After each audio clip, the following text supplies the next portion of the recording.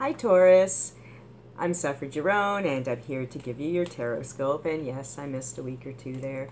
I got really busy. I was doing galleys, doing editing. Um, I'm in, oh, as an extra in a movie. I'm also doing a show of my own. And yeah, so lots of things going on. And sorry I didn't get all the horoscopes done on time. But I'm here now, right? And here we go. Six of Pentacles. As you know, I can't show you the card because of copyright reasons. Six of Pentacles, though, is a great card for, um, you know, it, it, tells you to go out and do work with the community. And, uh, you know, if you're looking for love, that's often a great way to meet people, do, do some volunteer work, especially with, uh, you know, projects you don't usually do because that's how you meet new people, right? Because if you do the same old thing you always do, you're going to meet the same old people, usually.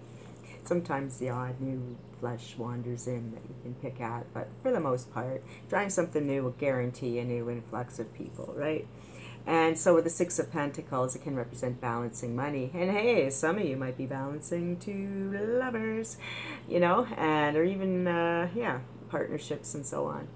So this is just about finding the balance, you know, and uh, charity work. And like I said, um, it can be, uh, you know, if you're waiting for an answer about a grant or something, uh, you'll probably get it. It's about giving money. So you might be the person who's giving the money, you might be the person who's getting the money. And like I said, it also reminds us to do some volunteer work for the community. Uh, regardless of what that is, whether it's doing free taxes, being in community theater, serving food at the soup kitchen, whatever it means to you. Go out and do it. Okay, and we'll see you next week, Taurus. Bye for now.